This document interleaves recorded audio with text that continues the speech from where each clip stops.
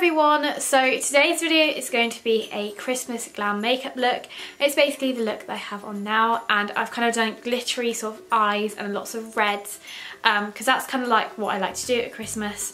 I did attempt to wing and it went wrong so I just redid it. So if you want to know how I did this look then keep on watching. I have moisturised my face as I normally do. I'm not going to prime because I don't have a good primer right now and I'm not actually going anywhere so it doesn't really matter. Um, but I'm going to start off with the Maybelline Fit Me Matte and Poreless Foundation in the shade 105. This is one of my favourite foundations ever. Then I'm going to go with the Collection Lasting Perfection Concealer and this is a concealer that I purchased like last week and you'll be surprised because there's so much hype about this. I don't know why but I never just bought it. I think it was a lot to do with the wherever I went they never had Fair in stock, they just had the other ones, so I never picked it up. But then I just thought I need to pick this up, I need to try it, I did use it yesterday. And I don't have a formulated opinion on it yet but I'm going to keep on using it and then I will let you know.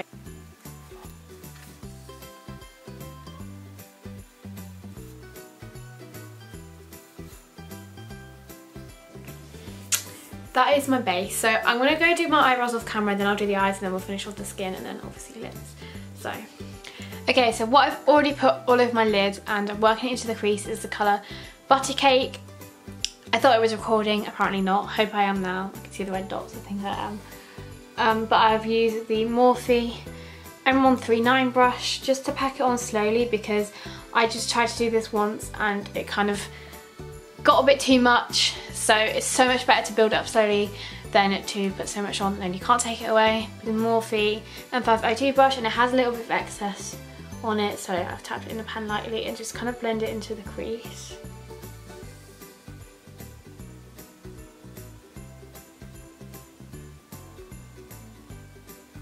So I am really going to build up that red just so we have a fully opaque colour but again like I said not so it's overly too much. So next I'm going to take the Colourpop Super Shock Glitter Ultra Glitter eyeshadow in the colour Crimper. It's a really pretty gold shade and I'm basically going to put that right in the middle of my lid. So I am going to attempt to cut it first but I'm not too great at that so we're going to see how it goes and then we're going to pack this on the top of it.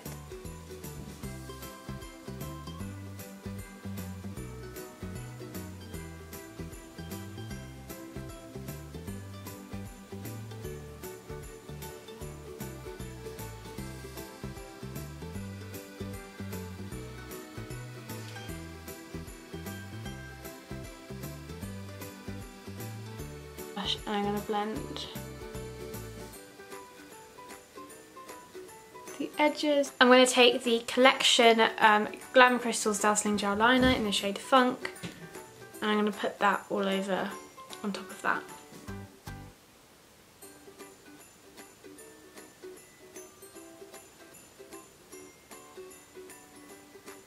And that's really giving it some glitter.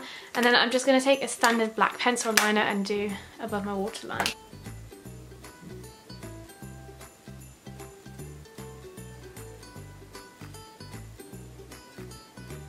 So what I'm going to do is I'm going to do the other eye off camera and then I'm going to put some lashes on and then we're going to finish them off and then we'll finish the rest of the face. So now I have done the eyes, I'm going to finish the face off and I'm going to use the Too Faced Chocolate Bronzer of course. I just dropped this on the floor and I'm so surprised that it didn't break, so very happy that it didn't either.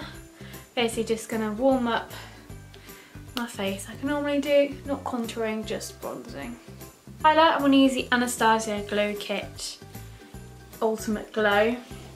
I wanted this for so long and I purchased it on Black Friday and I got it for like almost half price I think which is literally amazing. So this is a new addition to my makeup collection. I am absolutely in love. It's so gorgeous. I mean, I'm going to take this colour here, which is White Sand. It's honestly my favourite shade in the palette.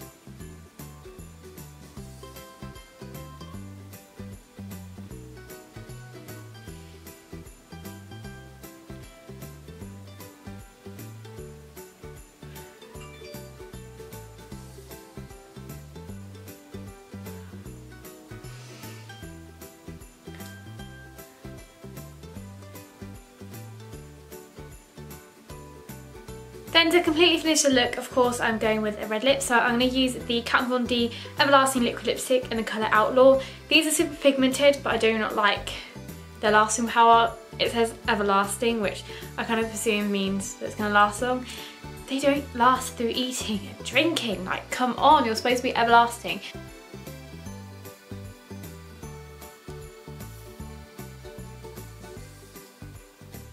So that is my finished Christmas glam look. I hope you have enjoyed the video. If you have, give it a thumbs up. And I would love it if you could subscribe. And I will see you whenever I post another video. Come on Lawrence, should be soon, hopefully. But I will see you then.